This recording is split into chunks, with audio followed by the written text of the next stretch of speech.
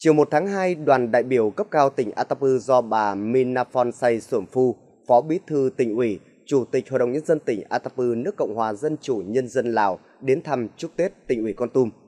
Tiếp đoàn tại trụ sở tỉnh ủy có Phó Bí thư Thường trực tỉnh ủy Apert, Phó Chủ tịch Hội đồng Nhân dân tỉnh Nghe Minh Hậu.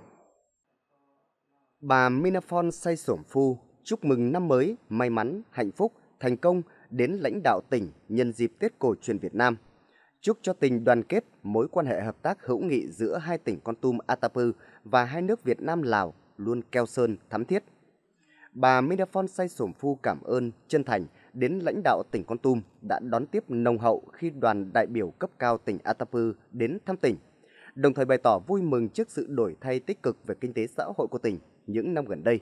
Mong muốn thời gian tới, hai tỉnh Con Tum Atapu tiếp tục phát huy kết quả đạt được, đẩy mạnh hợp tác trên tất cả các lĩnh vực, góp phần củng cố mối quan hệ hữu nghị truyền thống tốt đẹp giữa hai địa phương. Thay mặt tỉnh ủy Con Tum, Phó Bí thư Thường trực tỉnh ủy Apert cảm ơn sâu sắc tình cảm của bà Minafon Say Sổm Phu, Phó Bí thư tỉnh ủy, Chủ tịch Hội đồng Nhân dân tỉnh Atapu và đoàn đại biểu cấp cao tỉnh Atapu dành cho tỉnh Con Tum. Đồng thời bày tỏ vui mừng khi thời gian qua mối quan hệ hợp tác hữu nghị giữa hai tỉnh luôn được duy trì, phát triển, các hoạt động đối ngoại luôn được chú trọng và đẩy mạnh triển khai – trong đó, hai địa phương phối hợp chặt chẽ trong thực hiện các nội dung hợp tác, góp phần phát triển kinh tế xã hội, bảo vệ an ninh biên giới.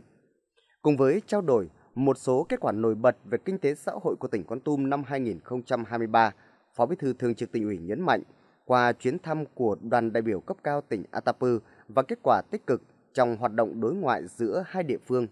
tin tưởng rằng thời gian tới, mối quan hệ hữu nghị truyền thống giữa hai tỉnh Con Tum Atapu và hai nước Việt Nam Lào ngày càng củng cố, phát triển hơn.